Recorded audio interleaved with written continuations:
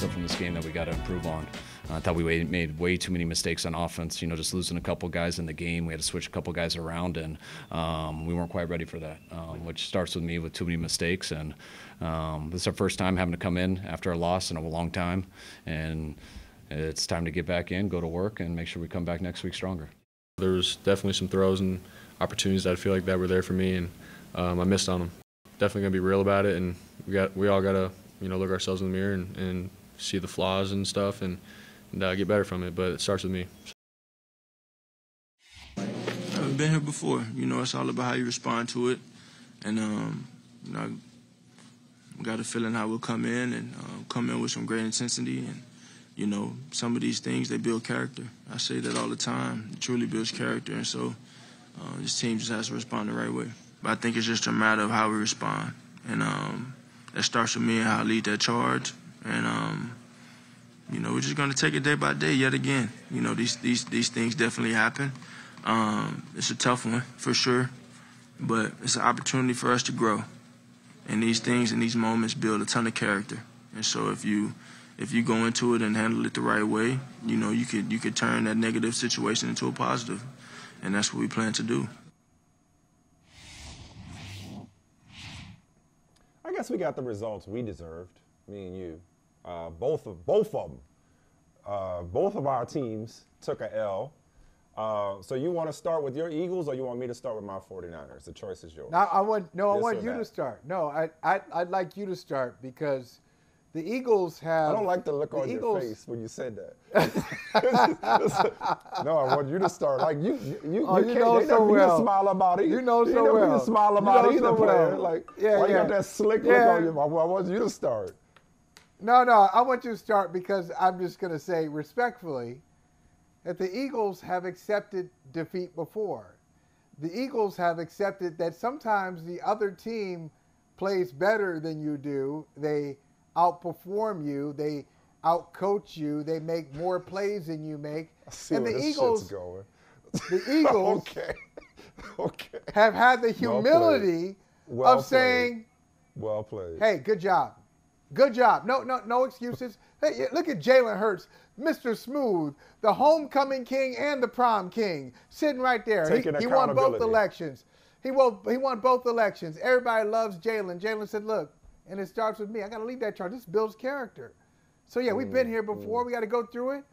And he mm. probably said, and we didn't play in that clip, he probably said, much respect to the New York Jets. They have a really good defense. Mm-hmm. Not, mm-hmm. hey, you know what? Mm-hmm. If my man If had run the we- if right route, him, right? we we'd would've won. Yeah, no, right. we're clearly the better team. But go ahead. You know, you start. You start. you go ahead. Talk That about your really boys, good. San Francisco. No, that was really good. Go. That was really good. I did not have that on my bingo card. I, that was that was excellent for you to take a loss to the Jets and turn it into a, Yeah. a commentary and a referendum on the 49ers. That was really well done. Okay. All right. Okay. Well, here's what I was gonna say. Um, okay, let's hear it. More so more so with San Francisco than with Philadelphia. Cleveland's uh, upset is more on the lines of if it bleeds, we can kill it. Um, Like I never said San Francisco was going undefeated, and I never said Brock Purdy was perfect. And had Jake Moody, here we go. You ready? I'm not gonna blame the other team. I'm gonna blame the, the, the Niners in this case. Had Jake Okay. Moody made a 41-yard field goal, which Wow. is a chip shot. What, Wasn't 41? It's like a chip shot. Anything under 55 nowadays is a gimme. Okay, if he'd have made the field goal, the conversation today is how Brock Purdy, all he does is win. He just finds ways to win. Instead, the kicker doesn't do his job, and so Brock Purdy's not perfect, which I never said he was. Still pretty good, but not perfect. So, cause I would say this, like I just ask for you guys, like yourself, Michael Holley, because I know I, I know what you're thinking. You're like, oh, see, told you so. He ain't all that. It's like, just be No, no. consistent. Because okay, cool, maybe this doesn't apply to you. Just be consistent. Because just like you often, you people often told us Purdy sycophants uh, to not get carried away. Don't put him in Canton yet. You know, stop even invoking the name of Tom Brady. Let's see how he performs in a long run. You know, a full season's worth of games. I would say the same thing in this situation. Never said he was never going to struggle. Like even the great ones have bad days. Even the great ones have off games. I never said he wasn't going to struggle. So one bad game, his first bad game, does not really uh, overrated. Doesn't make him overrated. It doesn't mean that he's been exposed. It doesn't mean that he's actually just a system quarterback and nothing more. All it means is he had a bad game against. Now this is my this is really the story for me, Michael. If we were back in our Boston Globe press box days, we were divvying up what we were going to write about. I would be like, hey, can I write about Jim Schwartz and the Browns defense?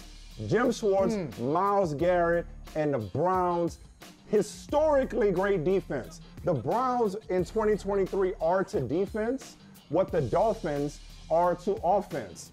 The Dolphins are out here putting up greatest show on turf numbers.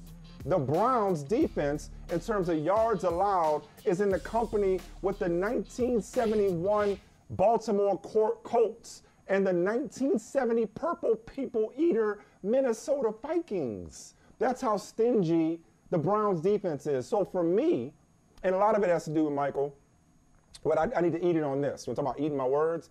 You weren't here for Yeah. this. So yesterday, yesterday morning on a fantasy football pregame, you know, I got you know a million jobs. Um, I actually cracked on the Browns because you know that that pregame scuffle, and I was like, that's probably the best fight the Browns are gonna put up today against San Francisco. Shame on me, right? Like Ooh. the Browns, the Browns, they may be losing some of their big dogs. They may have lost some of their big dogs and didn't have some of their big dogs, but they that dog still hunts and they still bite, and and they still they're still very ferocious and not to be taken lightly. Do not beware of dog. Beware of dog pound. Do not step in this gate. Th- th- There is no electric fence here.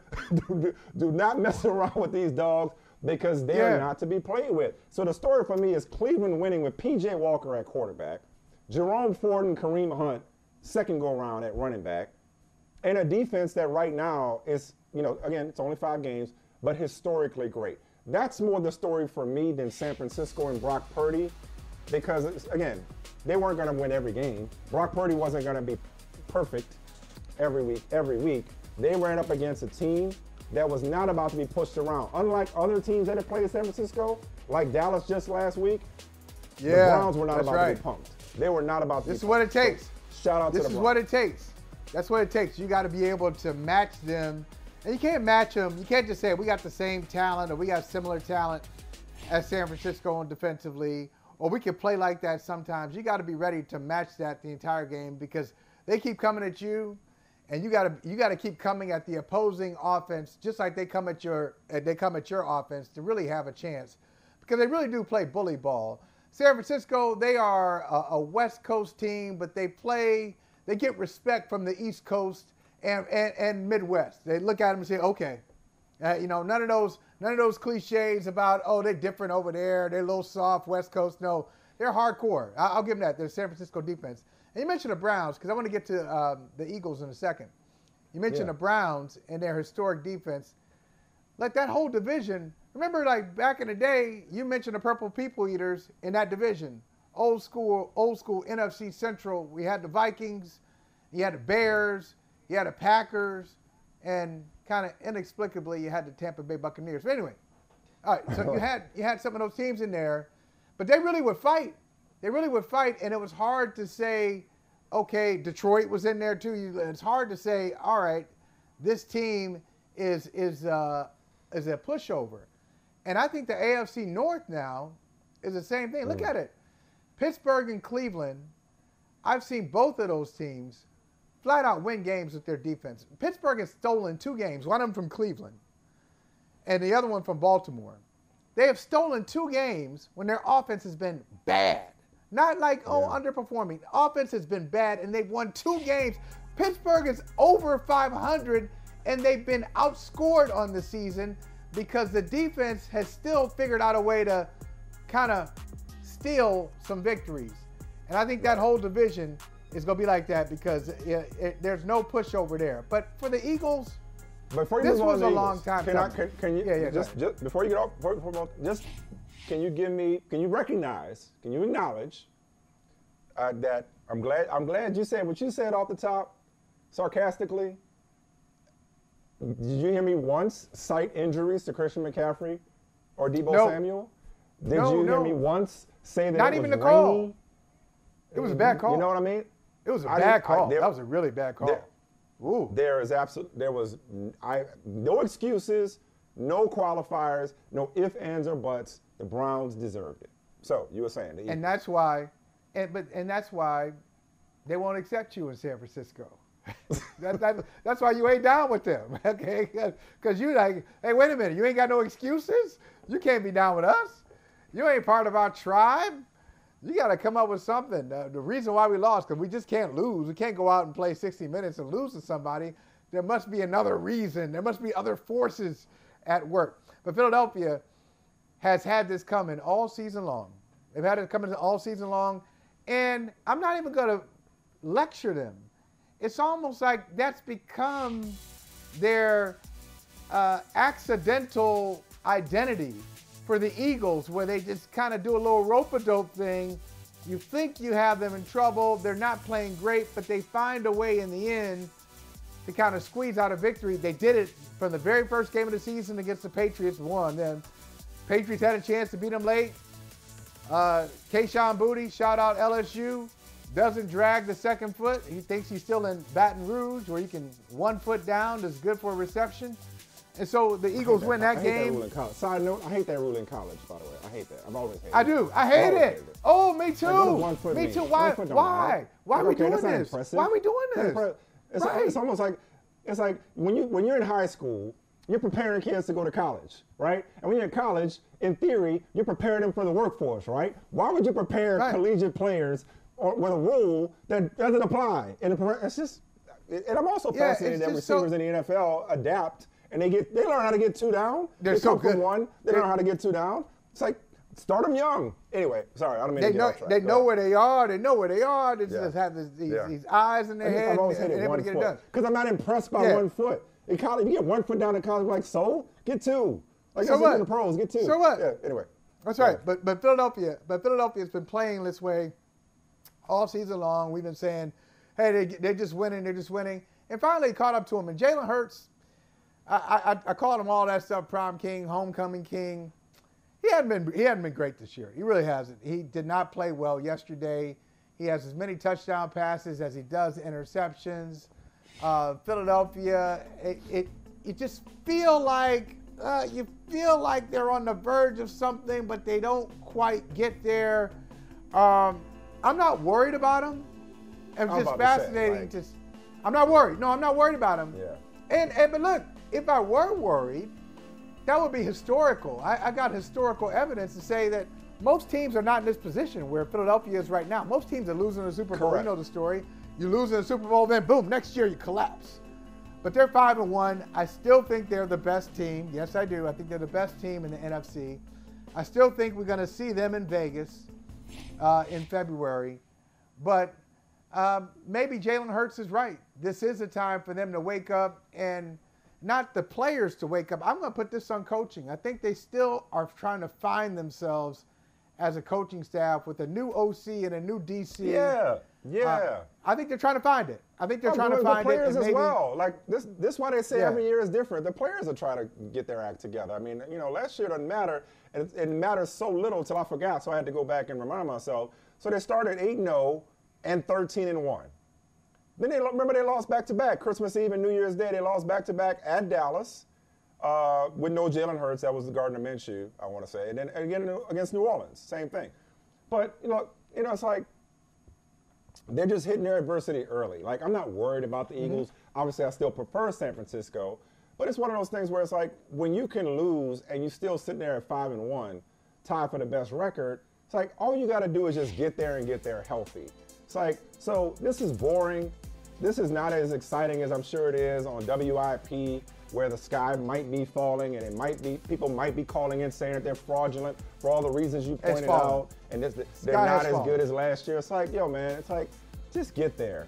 Once you get there, then it's like, who knows what happens? Like, and they'll get there. They'll they'll win the division because you. Not only am I not worried about Philly, in a negative sense, I'm not worried about Dallas, Are you still uh, hating? Washington You still or hating? New York. No, I'm not. No, I'm saying I'm not worried about them in terms of being better than Philly and winning that division. Yeah. Can Dallas still be in the playoffs? Yeah, but I'm not looking at the Cowboys thinking, oh man, Philly better watch out because Dallas might win that division. No, barring injury, barring you know something catastrophic happening, Philly will win the NFC East, and they'll be a playoff team.